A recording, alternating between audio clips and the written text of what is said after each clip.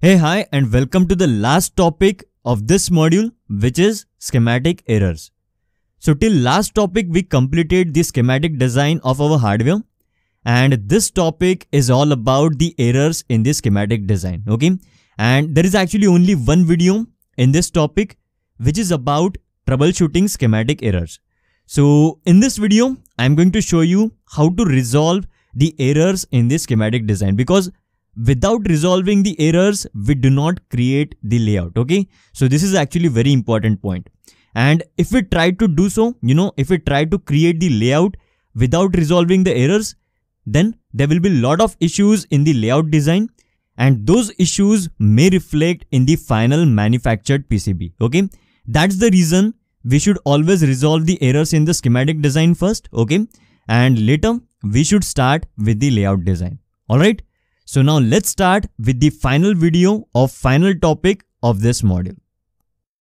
So this is basically the schematic that we have already completed. Now let's try to resolve the errors which are there in this particular schematic. Okay. Now in order to check what are the errors and what are the warnings in this schematic, you have to go to this particular option which is ERC uh, which actually stands for electrical rule check. Okay. So you can see in our schematic there is actually one error and 13 warnings are there okay? So i will go through each and every error and each and every warning warning and we will see what is the issue in this schematic. So now let me click on this particular error uh, which is basically the only error in this uh, entire schematic. So i will double click on this one and after that you can see this is actually going to point out where actually the error is okay? So what it is saying unconnected input pin u1 aref so this is basically the ic and this is the designator of this IC which is U1 and it's telling that this particular pin of this IC is not connected anywhere. And we have not connected this particular pin intentionally.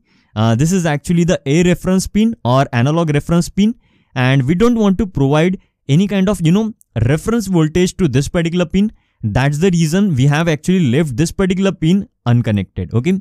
There is already a reference voltage inside the IC, okay, inside the microcontroller.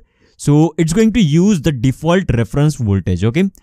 So we can approve this particular error as it's not going to harm uh, to our layout in any manner, okay? So I will just select this error and after that I will click on approve. So you can see now we have zero errors, okay? And in approve list, you can see uh, this is actually the error that we have already approved. Now let's see the warnings which are available. So there are total 13 warnings. Now let's go through each and every warning so first of all, I will select or I will click on this one.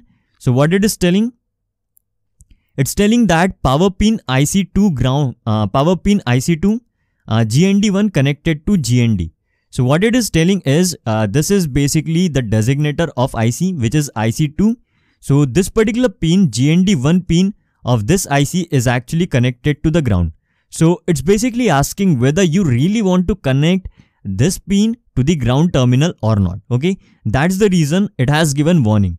So you know whenever you will connect any of the power pin of any of the IC uh, you are actually going to get this particular warning. Uh, here actually we intentionally connected this ground 1 pin uh, to the ground of our system.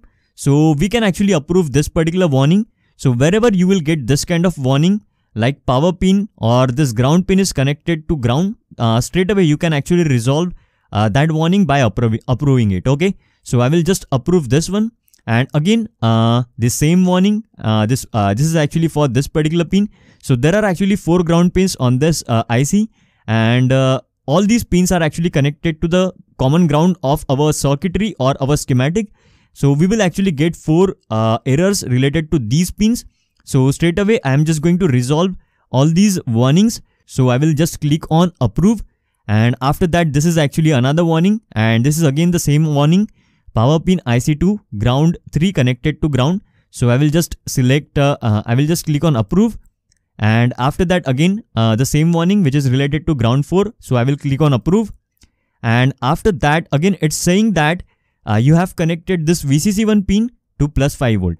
So whether you really want to connect this uh, plus uh, this particular pin to plus 5 volt so we want to do it because uh, this is actually the power pin of this IC. So I'm just going to uh, select this warning and after that I will click on approve. And again we got the warning for uh, this particular uh, pin of this IC which is VCC2 pin. So you are going to get this warning uh, every time you connect, uh, you know, the power pin to a specific power symbol. So I'm just going to approve because we want to connect this pin to plus 12 volts. So I will click on approve and then the next one is ACC. So again, I will approve this one. And after that VCC again, I will approve this one. And again uh, this is in case of uh, this 7 segment display driver IC so again we want to uh, connect this particular pin to plus 5 volts. So I will approve this one. Then the next one is uh, power pin U3 VSS connected to the ground. So again we want to connect this particular pin to ground. So we can approve this one.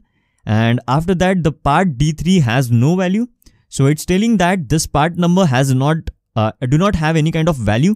So what you can do you can right click on this plus icon okay? So i will right click on this i will go to the value and whatever part number you are using for this particular led you have to use the uh, you know you have to write the part number for this particular led here okay? And later you have to click on ok and at this moment i actually don't have the part number. And the rgb led that i am going to use uh, i'm actually going to use that led you know i'm going to procure that led from the local market.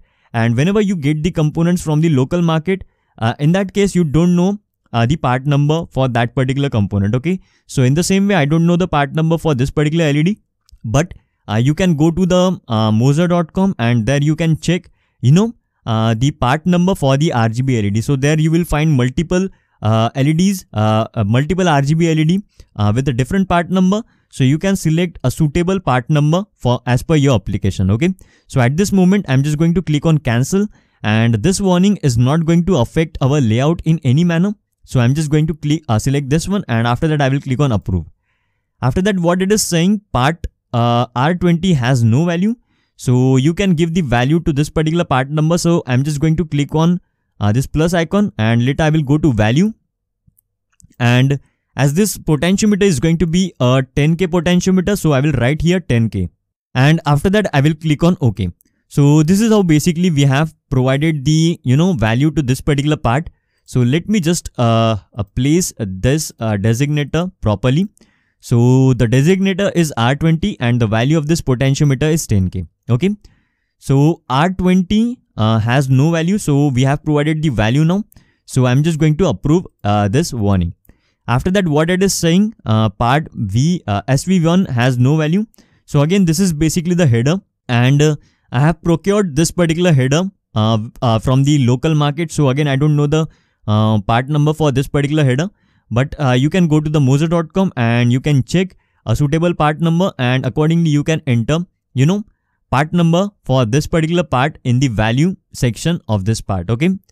So now let's let me resolve this error again so a uh, warning again so we are done with the all the errors and all the all the warnings now our schematic our entire schematic is error free and warning free and from next topic which is on layout design, uh, we can start with the layout design of our schematic. Okay.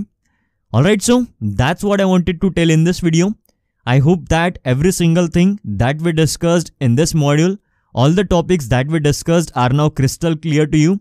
And I'm sure that you don't have any doubt. And if you still have any kind of doubt in any topic of this module on uh, or in any video of this module, uh, you reach to me and I will help you with that. Okay. Alright, so that's what I wanted to tell in this module. Now I will see you in the next module, which is about layout design and DRC error. Okay. I will see you in the next video now.